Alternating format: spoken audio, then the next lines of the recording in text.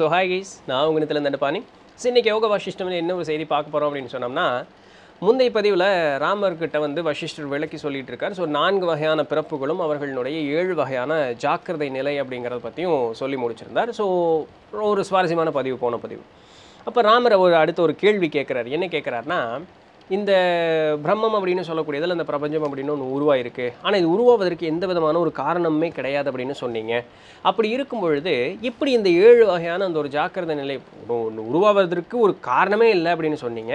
அப்போது காரணமே இல்லாமல் உருவானதுக்குள்ளே எப்படி இந்த ஏழு வகையான ஜாக்கிரத நிலை அப்படிங்கிறது ஒன்று உருவாச்சு அப்படின்னு ராமர் கேட்குறார். வசிஷ்டர் என்ன பதில் சொல்கிறாரு ஒன்று ஒன்று உருவாவதற்கு காரணமே இல்லை. அப்போ காரியம் அப்படிங்கிறதும் அந்த இடத்துல ஒன்றுமே இல்லை. சரி இந்த ஏழு வகையான ஜாக்கிரதை நிலைன்னு தான் ஒன்று இருந்தது. அதனால என்ன பயனாயிடுச்சு? என்ன பெரிய ஒரு மாறுதல் அப்படிங்கிறது வந்துருச்சு? ஒன்றும் இல்லை. அது திருப்பியும் பழைய நிலைமைக்கே தான் போச்சு. ஸோ இதெல்லாம் நம்மளுடைய புரிதலுக்காக சொல்லக்கூடியது. உனக்கு வந்து ஒரு கான்செப்டை சொல்லணும் அப்படின்னு சொன்னால் இந்த மாதிரி ஒரு நிலைப்பாட்டிற்காக உன்னுடைய புரிதலுக்காக இந்த மாதிரி ஒரு சில டேர்ம்ஸ் யூஸ் பண்ணி சொல்லிட்டு இருக்குமே தவிர உண்மையாலுமே இப்படியெல்லாம் எதுவுமே கிடையாது. இந்த இடத்துல எதுவும் தோன்றவும் இல்லை எதுவும் அழியவும் இல்லை. எல்லாமே பிரம்மஸ்வரூபத்தோடு இருக்கக்கூடியது தான் அப்போ எல்லாமே ஒன்று தான் அப்படிங்கும் பொழுது இங்கே ஆவதும் இல்லை அழிவதும் எதுவுமே கிடையாது. புதுசாக தோன்றுவதும் கிடையாது அது மாறுபடுவதும் கிடையாது அது அழிவதும் கிடையாது. எல்லாம் அப்படியே ஒரே நிலைப்பாட்டோடு தான் இருக்குது உன்னுடைய உணர்ச்சிகளை பொறுத்து ஒன்று ஒன்று ஒரு ஒரு மாதிரி தெரியுதே தவிர மற்றபடி வேறு ஒன்றும் கிடையாது. உனக்கு அறிவு வந்துருச்சு அறிவினுடைய முதிர்ச்சி அப்படிங்கிறது ஏற்பட்டுருச்சுன்னா எல்லாம் ஒரே மாதிரி தெரியும். அப்போ இங்கே தோற்றம் இல்லை அழிவும் இல்லை. நீயும் அது போலவே அமைதியான ஒரு நிலைப்பாட்டில் இருப்பேன். ஸோ இதெல்லாம் ஒரு எக்ஸ்ப்ளனேஷன் அந்த டேர்ம்ஸ் எல்லாம் ஒரு எக்ஸ்ப்ளனேஷனுக்காக தான். உண்மையாலுமே அப்படி எல்லாம் ஒன்றும் கிடையாது அப்படிங்கிறார் வசிஷ்டர். ஆனால் ராமர் உட்டவாட்ட காணும். சரி எதுவுமே இல்லை அப்படின்னு சொன்னீங்க அப்படின்னு சொன்னால் நம்மளுடைய இந்த தேகம் மனம் புத்தி அதுக்கப்புறம் உணர்ச்சிகள் இப்படின்னு சொல்லக்கூடியதெல்லாம் யாரால் ஏற்பட்டது?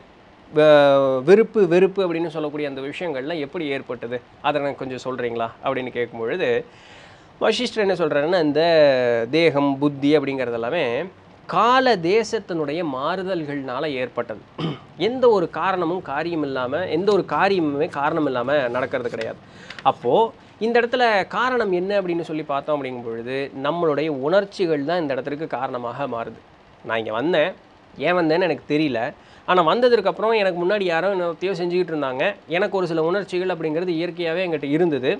அதன்படி நான் வந்து இந்த உலகத்தை நான் பார்க்குறேன். இந்த உலகம் இப்படி தான் இருக்குங்கிறத நான் உணர்ந்துட்டேன்.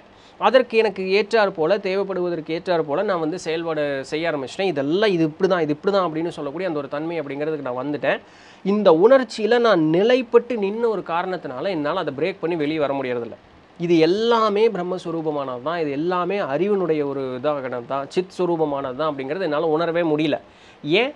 ஏன்னா நான் அந்த அந்த ஏரியாக்கே நான் போகலை. இங்கே இருக்கக்கூடியது தான் நிஜம். நெருப்பில் கை வச்சு அது சுடும். தண்ணியில் கை வச்சேன்னா அது குளிரும் அப்படின்னு சொல்லக்கூடிய அந்த ஒரு தன்மையில் நான் அப்படியே அழுத்தமான ஒரு நிலைப்பாட்டுக்கு நான் வந்துட்டேன். என்னுடைய உணர்ச்சிகளை நான் அது மேலே போட்டு அப்படியே இறுக்கமாக வச்சுட்டேன். இந்த ஒரு காரணத்தினால இந்த உலகம் நம்ம எப்படி பார்க்குறோமோ அதற்கு ஏற்றாறு போலவே இருக்குது அப்போ எனக்கு ஆன்மான்னு ஒன்று இருக்குது மனம்னு ஒன்று இருக்குது புத்தின்னு ஒன்று இருக்குது அறிவுன்னு ஒன்று இருக்குது உணர்ச்சின்னு ஒன்று இருக்குதுன்னு நான் ஆழமாக நான் நம்பிட்டு இருக்க ஒரு காரணத்தினால எனக்கு அது உண்மையாகவே தோன்றுது. நான் இல்லைன்னு சொன்னாலும் உன்னால் அதை இல்லைன்னு ஒத்துக்கவே முடியாது. அது எப்படி நான் இங்கே தான் தொடரனே அப்படின்னு சொல்லக்கூடிய அந்த நிலைப்பாடு அப்படிங்கிறது உனக்கு அப்படியே அழுத்தமாக வந்துடுச்சு. ஆனால் தொடர் ஆராய்ச்சியின் மூலமாக உனக்கு அறிவினுடைய முதிர்ச்சி அப்படிங்கிறது ஏற்படக்கூடிய அந்த ஒரு தன்மை அப்படிங்கிறது வரும் பொழுது இது எல்லாமே ஒன்று தான் அப்படிங்கிறத உணரக்கூடிய அந்த ஒரு நிலைப்பாடு உனக்கு வரும். ஸோ அறிவை அறிவினால் தான் உணர முடியும். பார்க்கக்கூடியது எல்லாமே பிரம்மஸ்வரூபமானது தான் சித்ஸ்வரூபமானது தான் சித்துன்னா என்ன? எல்லாமே அறிவினுடைய தன்மையானது தான் அப்போ இது எல்லாமே அறிவினுடைய தன்மை தான் எல்லாமே பிரம்மத்தினுடைய சுரூபம் தான் அப்படிங்கும் பொழுது நீயும் அதே தன்மை தான் அப்போ உன்னுடைய அறிவினால் தான் இது எல்லாமே உன்னை போல தான் அப்படிங்கிறது உணர முடியும். நீ அதற்குண்டான அளவுக்கு உன்னுடைய நிலைப்பாட்டை உயர்த்திக்கணும் வளர்த்திக்கணும். அப்போ நீ அதை வந்து இருந்து உணர்ந்து ஆராய்ச்சி செஞ்சு அதற்குண்டான அளவுக்கு வைராக்கியத்தோட மெனக்கிட்டு உன்னுடைய உணர்ச்சிகள் மேலெழும் பொழுது இது ஏன் நடக்குது? எதனால் நடக்குது? இதுக்கு என்ன பயன் என்ன? எல்லாமே ஒன்றுதாங்கும் பொழுது அதை வித்தியாசமாக நினச்சி நான் ஏன் உணரணும்? இந்த நிலைப்பாட்டிற்கு நீ வரும் பொழுது வைராக்கியத்தின்பால் அறிவினுடைய முதிர்ச்சியின் வரும் பொழுது அந்த ஞானம் தானாக சித்திக்கும். இந்த ஒரு காரணத்தினால உனக்கு எல்லாமே வந்து அந்த பிரம்மநிலையாக தெரியும். அப்போ தான் தெரியும். அது வரைக்கும் இப்போ நம்ம எக்ஸ்ப்ளனேஷன் பண்ணிக்கலாம். ஓ அது அப்படி தானா அவ்வளோதான் நம்மளுக்கு தெரியும். ஆனால் நம்மளுக்கு இது தொட்டால் தெரியும். நேர்வில் கை வச்சு சுடும். அப்போ நம்ம அந்த ஒரு நிலைப்பாட்டிற்கு வரணும். அப்போ இது அறிவினுடைய முதிர்ச்சியின்பால் இது தானாக நடக்கும். ஸோ உண்மையிலுமே பார்க்கக்கூடியதெல்லாம் கனவு தான் எப்படி ஒரு காணல் நீரை பார்க்குறோமோ அந்த மாதிரி தான் ஒரு தங்கத்துக்குள்ளே எப்படி வந்து நகையெல்லாம் ஒளிஞ்சிருக்கு. வெறும் ஒரு தங்க கட்டி பார்க்குறோம். அதுக்குள்ளே ஏதாவது நகை இருக்கிறது தெரியுமா? ஆனால் அது நகையாக உரு மாறுது இல்லையா? ஒரு வெறும் ஒரு கல்லை பார்க்குறோம். அதுக்குள்ளே நிறைய சிலைகள் ஒளிஞ்சிருக்கு. வெறும் கல்லை பார்க்கும்போது நமக்கு சிலை ஒளிஞ்சிருக்கிறது தெரியுதா? இல்லை இல்லையா? அதே போல் இந்த பிரம்மத்திற்குள்ளே இத்தனை விஷயங்கள் ஒளிஞ்சிருக்கு. ஆனால் அந்த நிலை மாறிடுச்சு அப்படிங்கிறதுக்காக அது கல்லுன்னு மா கல்லுங்கிறது இல் தன்மை இல்லைன்னோ இல்லை அது தங்கங்கிற தன்மை இல்லைன்னு மாறுவதில்லை இல்லை. ஆபரணமானாலும் அது தங்கம் தங்கம் தான் சிலையானாலும் அது கல் கல் தான் அதே போல் இந்த உருவங்களாக பல உருவங்களாக உயிர் உள்ளதோ உயிரற்றதோ இந்த பல உருவங்களாக எது மாறினாலும் கூட அத்தனையும் முழுக்க முழுக்க பிரம்மத்தினுடைய சுரூபம் தான் அப்போ இந்த ஒரு நிலைக்கு நீ வரும்பொழுது இது எல்லாத்தையும் சமமாக அந்த பிரம்மத்தினுடைய தன்மையாகவே உன்னால் பார்க்க முடியும் அப்படிங்கிறார். அப்போ ராமர் மறுபடியும் ஒரு கேள்வி கேட்குறார். இந்த ஒரு நிலைப்பாட்டிற்கு போன பிறகு இந்த நம்மளுடைய தோற்றம் பார்க்கக்கூடிய பார்வை எப்படி இருக்கும் அப்படிங்கிறத எனக்கு கொஞ்சம் சொல்லுங்களேன் அப்படின்ட்டு. ஸோ ஒரு ஒரு ஆர்வம் தான் ஒரு கியூரியாசிட்டி தான். அதை சொல்லுங்களேன் அப்படின்ட்டு. உண்மையிலுமே இந்த உலகம் அப்படிங்கிறது வந்து ஒரு மரமட்டை எப்படி உணருதோ இந்த உலகத்தை வந்து ஒரு மரமட்டை எப்படி உணருதோ அதே மாதிரி தான் மனுஷனும் உணர்ந்துக்கிட்டு இருக்கான். ஆனால் அதை அவன் ஒத்துக்கிறதா கிடையாது. ஏன்னா அவன் வந்து உணர்ச்சிகளுக்கு வசமாக வந்து அவன் வந்து சிக்கிட்டான். உண்மையிலுமே இதுக்கு எந்த விதமான தன்மைகளோ உணர்ச்சிகளோ வேறுபாடுகளோ கிடையாது. பட் இருக்கட்டும். பேச்சுக்காக இதுக்கு எல்லாத்துக்கும் உணர்ச்சிகள் உண்டு தன்மை உண்டுன்னு வச்சுக்குவோமே. சும்மா ஒரு ஒரு பேச்சுக்காக. வசிஷ்டர் போன்ற எப்படி சொல்கிற சரி பேச்சுக்கு உன் பக்கமே வரனே. பேச்சுக்காக வச்சுக்குவோம். எல்லாத்துக்கும் ஒரு உணர்வு இருக்குது ஒரு தன்மை இருக்குன்னு வச்சுக்குவோம். சரியா? இப்போ நம்ம பார்க்கக்கூடிய விஷயங்கள்லாம் இருக்குது உயிரினங்கள் இருக்குது உயிர் உள்ளது உயிரற்றது மரம் செடி கொடி மிருகம் மனுஷன் எல்லாம் இருக்குது சரியா? இதெல்லாம் கால சூழலின்பால் ஒரு கட்டத்தில் அழிவிற்கு போய் சென்றடையுது. எல்லாமே ஒரு கட்டத்தில் அழிஞ்சு போச்சு. அப்போது இங்கே இருக்கக்கூடிய பதார்த்தங்கள் பொருட்கள் இது எல்லாமே மாலிக்யூல்ஸ் அப்படின்னு சொல்கிற பார்த்தீங்களா இதெல்லாம் என்ன ஆகுது? பார்ட்டிகிள்ஸ் அப்புறம் மாலிக்யூல்ஸ் அது கீழே போனோம்னா ஆட்டம்ஸ் ஸோ எல்லாமே அணுவினுடைய அந்த வார்த்தை இது பயன்படுத்துகிறாங்க அணுவினுடைய அந்த ஒரு கு- ஒரு ஒரு கலப்பையினால தான் கலப்புனால தான் வந்து இந்த மாதிரி பொருட்கள் எல்லாமே உருவாகுது. அப்போ எல்லாமே அழியுது அப்படிங்கும் பொழுது இந்த அணுக்களும் அழியுது ஒரு கட்டத்தில். அணுவும் வந்து இருந்திருந்து எல்லாம் ஒன்று சேர்ந்து ஒன்று சேர்ந்து ஒன்று சேர்ந்து ஒரு பொருளாக மாறிச்சு. ஒரு கட்டத்தில் அந்த அணுவும் அழிஞ்சு போச்சு. இந்த அணுக்களுக்குள்ளுக்கு எல்லாம் பிரம்மம் தான் இருக்குது அப்படின்னு பார்த்தோம். அப்போ பிரம்மமும் அந்த இடத்துல அழிவு பெற்று போச்சு. அப்போது இந்த பிரம்மமுமே அழிவு பெற்றப்போ இந்த ஜகத் அப்படின்னு சொல்லக்கூடிய இந்த மொத்த உலகமுமே இந்த பிரம்மஸ்வரூபம் தான் அப்போ இந்த உலகமும் முழுக்க முழுக்க அழிஞ்சு போச்சு. இதை அறியக்கூடிய அறிவுன்னு இருக்கும் பார்த்தியா அந்த அறிவு எல்லா அணுக்கள் கூடையும் சேர்ந்து இருக்கிறதாக ஒரு சித்தாந்தம் உண்டு. அணுக்களுக்குள்ளெல்லாம் அறிவு இருக்குது அப்படிங்கிற ஒரு சித்தாந்தம் உண்டு. அப்போ அறிவும் அந்த இடத்துல அழிஞ்சு போச்சு. அப்போ எதுவுமே இல்லை அப்படின்னு சொன்னால் அப்போ எல்லாமே அழிஞ்சு போச்சு அப்படின்னு சொன்னால் இது பிரம்மமுமே இல்லை அதுவும் அழிஞ்சு போச்சுன்னு சொல்கிறது எவ்வளோ ஒரு ஒரு பைத்தியகாரத்தனமான ஒரு விஷயமா இருக்குது எல்லாமே அழிஞ்சு வரும். ஒரு கட்டத்தில் எல்லாமே அழிஞ்சு வரும். அதற்கு மேலே உற்பத்தியே நடக்கவே நடக்காதுங்கிற ஒரு இடத்துக்கு போய் நின்னா அப்போ என்ன என்ன இருக்கும் அந்த இடத்துல? இது ஒரு பைத்தியகரத்தனமான ஒரு விஷயம். அப்போது இங்கே உண்மையாலுமே என்ன நடக்குது அப்படின்னு சொன்னால் எதுவுமே ஆவதும் இல்லை எதுவும் அழிவதும் அல்ல. இந்த பிரம்மம் அப்படிங்கிறது ஒன்று நிலை நின்று நின்றுக்கிட்டு இருக்கு. அதற்குள்ளாக நிறைய மாறுதல்கள் நடந்துக்கிட்டு இருக்கு. இந்த மாறுதல்கள் ஒரு கனவு போல அந்த இடத்துல நடந்துக்கிட்டு இருக்கு. இந்த இடத்துல உண்மையாலுமே எதுவும் நடப்பதும் இல்லை அதான் ஆவதும் இல்லை அழிவதும் இல்லை. அதாவது அது அது பாட்டில் இருக்குது என்னுடைய அறிவினுடைய அந்த ஒரு தாழ்ந்த ஒரு நிலை இன்னும் அந்த முதிர்ச்சி வரல. நான் இன்னும் உணர்வுகளுக்கு கட்டுப்பட்டு இருக்கக்கூடிய காரணத்தினால இதெல்லாம் வித்தியாச வித்தியாசமாக எனக்கு வந்து தெரிஞ்சுக்கிட்டே இருக்கே தவிர அறிவு முதிர்ச்சி அடையும் பொழுது இதெல்லாம் ஒன்றா தான் தெரியுது. வெறும் ஒரு ஒரு சொப்பன ஜாலம் ஒரு ஒரு கனவுல வரக்கூடிய ஒரு கற்பனை ஜாலம் தான் இது. ஒரு மந்திர ஜாலம் மாதிரி தான். இது வந்து மந்திரம் இது ஒரு வெறும் ஒரு ஜாலம் தான். இது வந்து ஒரு கனவு தான் அப்படிங்கிறத நம்ம உணர்ந்துட்டோம் அப்படின்னு சொன்னால் உண்மையான நிலைப்பாடு என்ன அப்படிங்கிறத நம்மளால் முழுமையாக உணர முடியும். இதற்கு தேவைப்படக்கூடியது என்ன அப்படின்னு சொல்லி பார்த்தோம்னா நம்மளுடைய ஆராய்ச்சி அப்படின்னு சொல்லக்கூடியது. அந்த ஒன்று மட்டும்தான் நமக்கு முக்கியமாக தேவைப்படக்கூடியது. சரிப்பா இந்த உலகம்னு ஒன்று இருக்குது இந்த உலகம் அழிஞ்சு போச்சுன்னு சொல்கிறேன் இந்த உலகம் அழிஞ்சு போச்சு பிரளயம் அப்படிங்கிறது வந்து இந்த உலகம் முழுக்க முழுக்க அழிஞ்சு போச்சு அப்படின்னு சொன்னால் இந்த அழிஞ்ச உலகம் மறுபடியும் உருவாகவே கூடாது. ஃபஸ்ட்டு நியாயம். சரியா? உருவாகுது. பழைய மாதிரியே உருவாகுது. பழைய மாதிரியே உருவாகுதுன்னு சொல்கிறதுக்கு யார் இருக்கா இங்கே? ஒப்பிட்டு பார்க்குறதுக்கு யாரோ ஒன்று இருக்க இருக்கணும்ல. அப்போ அதுவும் இல்லை.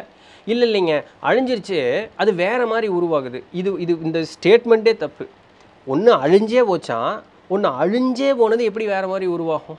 அதற்கும் வாய்ப்பு இல்லை. அந்த ஸ்டேட்மெண்ட்டே தப்பு. இல்லை இல்லை அழிவு அப்படிங்கிறது வந்து ஆகாயம் போல் இருக்குது ஆகாயம் ஒரு காலத்துலேயும் மாறுபடாத ஒரு தன்மை கொண்டது. அப்போ அந்த அந்த ஸ்டேட்மெண்ட்டும் தப்பு. அப்போ இந்த இடத்துல அழிவு நாசம் அப்படிங்கிறது ஒன்று ஏற்படவே இல்லை. எல்லாம் இல்லைங்க. அப்படியே அழி- இருந்தது அழிஞ்சுதுங்க. அப்புறம் அப்படியே டிட்டோவ ஜெராக்ஸ் காப்பி மாதிரி ஒன்று உருவாயிடுச்சுங்க. ஏய் அதான் அழிஞ்சது மறுக்க அதே மாதிரி உருவாயிருச்சுங்கும் போது அப்போ அங்கே அழிவுங்கிறது எங்கே ஏற்பட்டது? ஆக்கமும் இல்லை அழிவும் இல்லை. ஒன்றே தானே மறுபடியும் வந்தது. அப்போ அங்கே ஆக்கமும் இல்லை அழிவும் இல்லை. இப்படித்தான் வந்து நம்மளுடைய மனோநிலை அப்படிங்கிறது போய்கிட்டே இருக்குது இதற்கு ஒரு காலம் நமக்கு முடிவே கிடையாது. இதை ஒன்று சொல்லிக்கிட்டே இருக்கலாம். இது எந்த அளவுக்கு வந்து ஒரு கற்பனைக்கு மட்டுமே சாத்தியப்படுமோ அந்த அளவுக்கு தான் நம்ம பார்க்கக்கூடிய பொருட்கள் எல்லாமே. ஒரு காணல் நீரை பார்க்கும்போது அது எந்த அளவுக்கு நிஜமாக தெரியுது? ஆனால் பக்கத்தில் போய் ஆராய்ச்சி பண்ணி பார்க்கும் பொழுது உண்மையிலுமே அங்கே அங்கே நீர் தன்மை அப்படிங்கிறது இல்லை. அது வெறும் ஒரு காணல் நீர் மிராஜ் அவ்வளோதான் அதுபோல தான் நீங்கள் பார்க்கக்கூடிய விஷயங்கள் எல்லாமே உன்னுடைய உணர்வுகள்னாலையும் நீ ஒரு சில விஷயங்கள் மேலே ஈடுபாடோடு இருக்கக்கூடிய அந்த ஒரு காரணத்தினால இது எல்லாமே உண்மையாக தெரிஞ்சுக்கிட்டு இருக்கு. இது மேலே ஈடுபாடு உனக்கு இல்லை அப்படின்னு சொன்னால் இங்கே இருக்கக்கூடிய விஷயங்கள் எதுவுமே உனக்கு வந்து இது இருக்கிறார் போலவே தெரியாது. எல்லாமே அந்த சுத்தமான அந்த சித் சமயமாக அந்த ஒரு பிரம்மஸ்வரூபமாக தான் முழுக்க முழுக்க உனக்கு தெரிய ஆரம்பிக்கும்.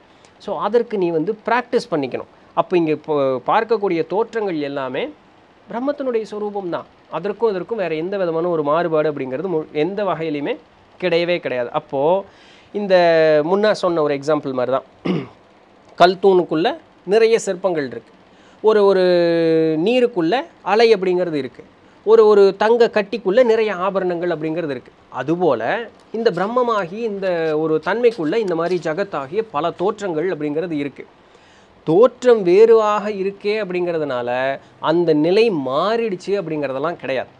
அது என்ன நிலையோ அந்த நிலை அப்படியே இருக்குது இந்த தோற்றங்கள் யாருனால தோற்றுவிக்கப்படுது? நம்மனால் மட்டும்தான் தோற்றுவிக்கப்படுது. அப்போது இந்த காலம் தேசம் கிரியை இந்த பஞ்சபூதங்கள் பஞ்ச நம்மளுடைய உணர்வுகள் இது எல்லாமே முழுக்க அப்படி நில் ஸ்டேஜ் போகிறது அப்படிங்கிறது தான் வந்து பிரளய காலம் அப்படிங்கிறது. அந்த இடத்துல எதுவுமே உற்பத்தி ஆவதில்லை அது ஆகும். அதனுடைய அந்த ஆகக்கூடிய அந்த ஒரு தன்மை எப்போ வரும்? என்கிட்ட நீ ஏதாவது ஒரு உணர்ச்சி அப்படிங்கிறது ஏற்பட்டால் தான் அப்போ இந்த பிரளய காலம் எப்படி அமைதியாக இருக்கும்? அங்கே எதுவுமே இல்லைனாலும் எதுவுமே இல்லாமல் அது பாட்டுக்கு பெசாமல் அமைதியாக இருக்கும்ல. அதுதான் பிரம்மத்தினுடைய சுரூபம். ஆனால் அதற்குள்ள அசைவுங்கிறது ஏற்படும். புதுசாக ஏதாவது ஒரு ஒரு ஒரு சில இது விஷயங்கள் அப்படிங்கிறது உருவாகத்தான் செய்யும். அதெல்லாமே ஓகே. இது உருவாகுது. இது புதுசாக உருவாகுது. இது அழியுது அப்படிங்கிற அந்த ஒரு தன்மை எப்போ நமக்கு வரும்னா நாம் அப்படின்னு சொல்லக்கூடிய அந்த உணர்ச்சி அப்படிங்கிறது ஏற்படும் போது மட்டும்தான். அப்படி இல்லைன்னா எதுவுமே உருவாவதும் கிடையாது எதுவுமே அழிவதும் கிடையாது. திருப்பம் நல்லா புரிஞ்சுக்கங்க. உருவாவதும் அழிவதும் நம்மளுடைய புரிதலுக்காக சொல்லக்கூடிய அந்த வார்த்தைகள் தான். உண்மையிலையுமே அப்படி எதுவுமே நடக்கிறதில்ல அது பாட்டுக்கு அது பேசாமல் இருக்குது அப்படிங்கிறாங்க. இது வந்து புரிஞ்சுக்கிறது கொஞ்சம் கஷ்டம். பிகாஸ் அவங்க அதை உணராத வரைக்கும் இது என்ன தன்மை அப்படிங்கிறது உங்களுக்கு புரியாது அப்படின்ட்டாங்க. நீ அந்த இடத்திற்கு வந்தால் தான் நான் என்ன சொல்கிறேன் அப்படிங்கிறது புரியும். விளக்கத்திற்கு வார்த்தைகளால் சொல்லலாம். அது உன்னால் ஓரளவுக்கு புரிஞ்சுக்க முடியும். அவ்வளோதான் ஓ இது இந்த மாதிரி இருக்குது இந்த மாதிரி இருக்குன்னு உன்னால் புரிஞ்சுக்க முடியும். பட் நீயா அந்த இடத்திற்கு வரும்பொழுது தான் நான் என்ன சொல்கிறேன் அப்படிங்கிறது புரியும். எல்லாமே பிரம்மஸ்வரூபமாக தான் உனக்கு முழுக்க முழுக்க தெரியும். அதற்கு நீ அந்த இடத்திற்கு வரணும். அந்த ஒரு ஞான நிலை அந்த ஒரு ஒரு இடத்திற்கு வரும்பொழுது அது உனக்கு முழுக்க முழுக்க புரியும். இங்கே இங்கே நீ பார்க்கறதுலேருந்து எல்லாமே வெறும் ஒரு கற்பனை தான். எல்லாமே ஒரே சுரூபமாக இருக்கக்கூடியது. இது எல்லாமே கற்பனை. இங்கே உண்மைன்னு நீ நம்பிட்டு இருக்கிறது எதுவுமே உன் கண்ணு முன்னாடி இல்லை. இங்கே வெறும் ஒன்றுமே இல்லை இங்கே அப்படிங்கிறாங்க. இது ஆக்சுவலாக ரொம்ப நாள் முன்னாடி இந்த நேஷனல் ஜியோகிராஃபிக்கில் ஏதோ ஒரு சயின்டிஸ்ட் சொல்லி கேள்விப்பட்டிருக்கேன். இந்த மரம் செடி கொடி எதுவுமே உண்மை கிடையாது. இது வெறும் ஒரு லைட் சோர்ஸ் தான். நம்ம தான் இதை கற்பனை பண்ணிகிட்ருக்கோம் இருக்கோம் அப்படின்னு சொல்லி. ஸோ பல வருஷம் கழித்து ஒரு பத்து வருஷத்துக்கு முன்னாடி இதை கேட்டிருப்பேன்னு நினைக்கிறேன். இன்றைக்கி யோகாவா சிஸ்டமில் இதை நான் வந்து படிக்கிறேன். அப்போது ஒரு ஞானியர்களுக்கு இந்த மாதிரி உணர்ச்சிகள் அப்படிங்கிறது அவர்களுக்கு ஏற்படுவதில்லை. உணரும் பொழுது தான் அப்படின்னு ஒன்று இருக்குது அப்படிங்கிற ஒரு தன்மை அப்படிங்கிறது நமக்கு ஏற்படுது. எனக்கு இது தொட்டால் எனக்கு வந்து இந்த கடினத்தன்மை அப்படிங்கிறத நான் உணர்றேன். இந்த உணர்ச்சி அப்படிங்கிறது ஞானியர்களுக்கு ஏற்படுவதில்லை. அதனால இந்த டேபிள் அப்படிங்கிறது அவர்களை எந்த வகையிலையும் பாதிக்காது. அவர்கள் இதை எப்படி உணர வேண்டுமோ அதுபோல் உணர்வாங்க. இது உணரவே இல்லை அப்படின்னு சொன்னால் இது பிரம்மஸ்வரூபமாகவே இருக்கும். இது அங்கே இருக்கிறதும் இல்லாததும் ஒன்று தான் அவர்களுக்கு இது அ- இந்த இது இந்த ஒரு விஷயம் அவர்களை எந்த வகையிலையும் பாதிக்கவே பாதிக்காது. இதனால தான் அவர்களால் எப்பேற்பட்ட சாதனைகளையும் செய்ய முடியுது. ஏன்? ஏன்னா அவர்கள் எப்படி நினைக்கிறார்களோ அந்த நினச்சது நினச்ச மாதிரி இருக்கும். எல்லாமே எனர்ஜி எனர்ஜி எனர்ஜியாகவே பார்ப்பாங்க அவங்க கம்ப்ளீட்டாக ஏன்னா அவங்களும் அந்த எனர்ஜியாகவே அவங்களுக்கு தெரியும். அந்த இடத்துல மனமானது அந்த இடத்துல உருவாவதே கிடையாது. அந்த இடத்துல எந்த விதமான ஒரு உணர்ச்சிகளும் மேற்பட்டு வருவதே கிடையாது. அப்போ அவர்கள் அமைதியாக இருக்கும் பொழுது அந்த பிரம்மத்தினுடைய தன்மையாகவே அவர்கள் ஞானியர்கள் மாறிவிடுகிறார்கள். இந்த ஒரு தன்மை மாறும் பொழுது முழுக்க முழுக்க அந்த பிரம்மஸ்வரூபமாகவே அவர்கள் வாழ்ந்து கொண்டிருப்பார்கள். சராசரியாக அப்படியே கிழக்கி மேக்கையும் போயிட்டு வர மாதிரி இருக்கும். ஆனால் அவர்கள் முழுக்க முழுக்க அந்த இறைத்தன்மை கூடியவர்களாகவே அவர்கள் இருப்பார்கள். ஸோ இதுதான் வந்து ஞானியர்களுக்கு உண்டான அந்த ஒரு தன்மை உடையதாக இருக்குது அந்த தன்மை இல்லாதவர்களுக்கு மட்டுமே பார்க்கக்கூடியதெல்லாம் ஒரு கனமுடையதாகவும் ஒரு சரீரமுடையதாகவும் அவர் மற்றவங்களுக்கெல்லாம் தெரியும். அவர்கள் அஞ்ஞானிகள் நம்மளை போல. சரிங்களா? ஞானியர்களுக்கு இந்த மாதிரி வித்தியாசம் அவர்களுக்கு தெரிவதே கிடையாது. ஒரு காலத்திலும் அப்படிங்கிறாங்க. ஸோ ஒரு அந் அந்த அதுதான் ஹையஸ்ட் பாயிண்ட்டு அவர்கள் தான் உண்மையாலுமே ஞானியர்கள். So it may take time so அவரவர்களுடைய வைராக்கியத்தை பொறுத்தது டைமுங்கிறது அவங்க அவங்களுடைய வைராக்கியத்தை பொறுத்தது. எவ்வளோ சீக்கிரம் அடைய முடியுமோ அவ்வளோ சீக்கிரம் அடைய முடியும். ஸோ திருப்ப திருப்ப வசிஷ்டு சொல்கிறது ஒரே விஷயம் தான். It can happen to anyone by practice so உன்னுடைய மனசை நீ ஒருநிலைப்படுத்துவதற்குண்டான அந்த பயிற்சியில் ஈடுபட்டேன்னா ஞானம் தானாக சித்திக்கும் அப்படிங்கிறாங்க. அவ்வளோதான் ஸோ இதுதான் ஒரே வழி வேறு வழி இல்லை. ஏன் ஸோ இதான் இன்றைக்கு உண்டான பதிவு. ஆனால் ராமர் இப்போ வரைக்கும் உட்டவாட காணும். இன்னும் அடுத்த பதிவு பாருங்களேன். எங்கெங்கேயோ பயங்கரமான ஒரு சில அண்டங்களுக்கெல்லாம் போயிட்டு வராங்க. ஸோ எப்படியெல்லாம் இருக்கும் அப்படின்னு பாருங்களேன். ராமர் உட்டவாட்ட காணோம். நிறைய கேள்விகள் கேட்குறார். வசிஷ்டர் ஒரு சில சுவாரஸ்யமான செய்திகள் சொல்கிறார் ஸோ அதை அடுத்த பார்ப்போம். நாளைக்கு வேறு ஏதாவது ஒரு சுவாரஸ்யமான செய்தியில் சந்திப்போம். அது வரையும் தொடர்ந்து இணைந்திருங்கள். நான் உங்களிடத்தில் இடத்துல தண்டை பண்ணி நன்றி. வெற்றிவேல்! வெற்றிவேல்! வெற்றிவேல்!